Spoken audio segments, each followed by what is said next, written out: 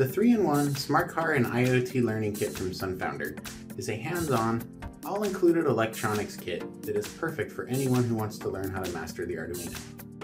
The kit comes with an Arduino, 22 different sensors and modules, breadboards, jumper wires, and everything else you need to build a bunch of fun and interesting projects. Learn about robotics by building a remote-controlled smart car that can be controlled with an infrared remote controller, or drive on its own and avoid obstacles or fall in a line. Learn about the Internet of Things with a project that lets you monitor the temperature, humidity, and light level of a room from an app on your smartphone. And build a plant monitor that tracks the temperature, humidity, light intensity, and soil moisture and displays it on your smartphone so you can keep your plants watered remotely. It's a super cool kit, and I had lots of fun building all the projects in it. So click the link in the description below to order the kit from SunFounder.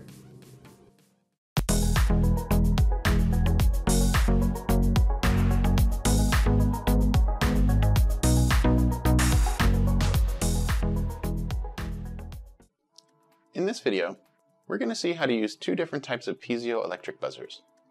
When connected to the Arduino, they can be programmed to act as an alarm, as a notification when a motion sensor is triggered, or when a sensor reaches a certain value. You can also program them to produce musical notes. There are two types of buzzers you can connect to the Arduino, active buzzers and passive buzzers. They look almost identical, Active buzzers are called active because they only need a constant DC voltage to produce sound. Passive buzzers need an oscillating AC voltage to produce sound.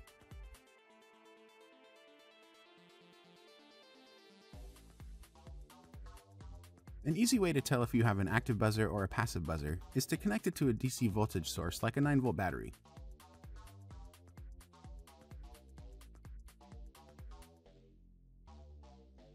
The buzzers are polarized, so check which terminal is positive and which terminal is negative before you connect it to the battery. One of these is an active buzzer and one is a passive buzzer. Let's find out which one is which.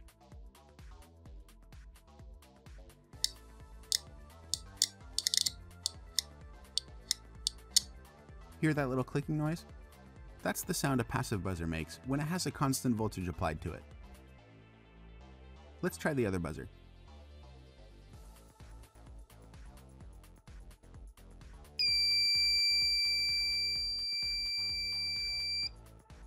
So that's the sound the active buzzer makes. Active buzzers only need a constant voltage to produce sound. That's because they have an oscillator chip inside that converts the constant voltage to an oscillating voltage. Active and passive buzzers are types of magnetic buzzers. Inside the buzzer, there's a coil of wire that's connected to the buzzer's pins. There's also a round magnet that surrounds the wire coil. This is a thin metal film with a metal weight attached to the top. When pulses of current are applied to the coil, magnetic inductance causes the metal weight to vibrate up and down. That up and down motion moves the metal film very quickly and produces vibrations in the air, which are detected by humans as sound. Active buzzers are easier to program, so let's start with that first. Then we'll look at how to program passive buzzers. Let's build a circuit that controls an active buzzer with the press of a button. After we learn how to set up sensors in the next section, you should be able to replace the input from a button with the reading from a sensor. You can connect the positive terminal of the active buzzer to any digital pin. Here I've connected it to digital pin 8. The negative terminal of the buzzer connects to the Arduino's ground pin. Then one side of a push button connects to digital pin 7, and the other side of the button to the other ground pin. Active buzzers are programmed just like LEDs. You write the digital pin high to turn it on, and low to turn it off. So up here, I declare the two pin variables, one called buzzer pin, set equal to Arduino pin 8, and another called button pin, set equal to pin 7. In the setup section, I set the buzzer pin as an output and the button pin as an input with the internal pull-up resistor.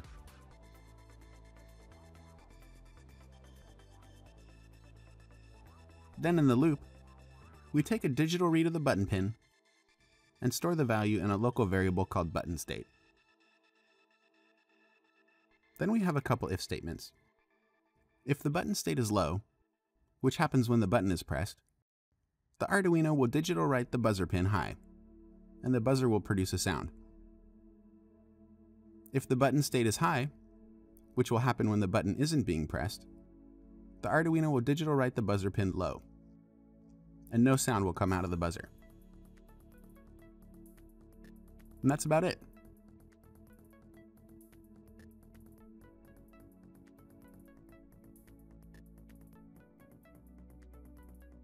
Here's the active buzzer circuit connected up. Every time I press the button, the buzzer makes a sound.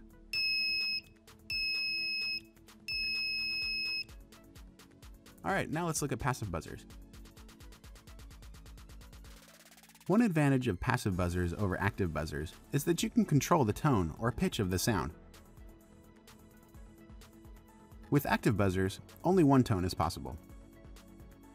Passive buzzers need a square wave signal to produce sound, and by changing the frequency of that square wave, you can change the pitch of the buzzer sound. The Arduino has a built-in function that generates square waves at a range of frequencies. It's called the tone function. The tone function generates a square wave with a 50% duty cycle at a frequency that you specify. It takes three parameters. The pin number you want to send the square wave to, the frequency of the tone in hertz, and optionally, the duration of the tone in milliseconds. The no tone function can be used to turn off the tone function. Let's build a circuit that cycles through a set of musical notes. In this circuit, we connect the positive terminal of a passive buzzer to digital pin 8, and the negative terminal to ground. In the sketch, we declare a buzzer pin variable and set it equal to pin 8. Then we set the buzzer pin as an output. Now, say I want to have a tone sound when the sketch starts up for the first time. If you put the tone function in the setup section, that tone will only be played once, when the sketch starts up.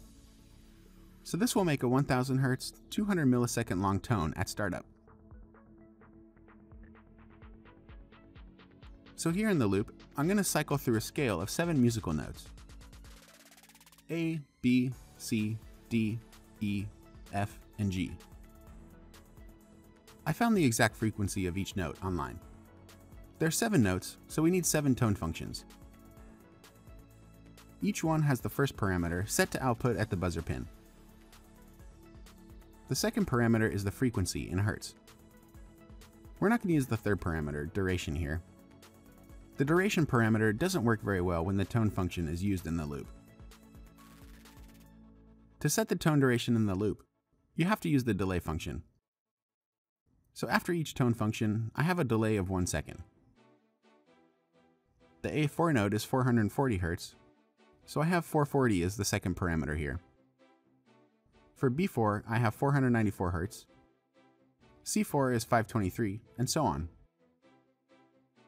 all the way up to G4. At the end of the loop, I use the no tone function and a delay of 1000 milliseconds to add a 1 second period of silence before the loop repeats. So let's check this out.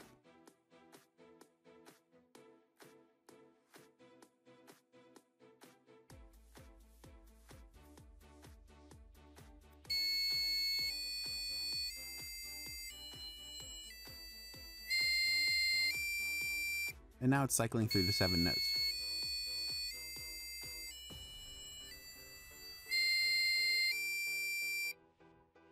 With a passive buzzer, you have more control over the sound than with active buzzers. In the next video, we're going to continue on with our look at Arduino outputs and see how to use 7-segment displays to print numbers and the readings from a temperature sensor.